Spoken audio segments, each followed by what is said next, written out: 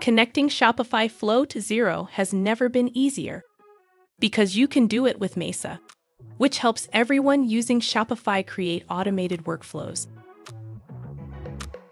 It's easy to get started. First, choose your trigger app, Shopify Flow. Next, choose the trigger event from the list.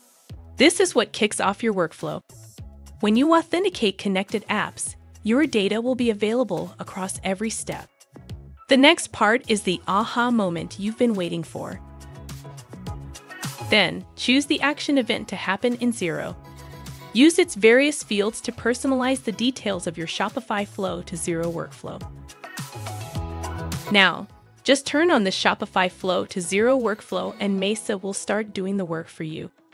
Mesa can automate the simple or complex tasks you deal with every day.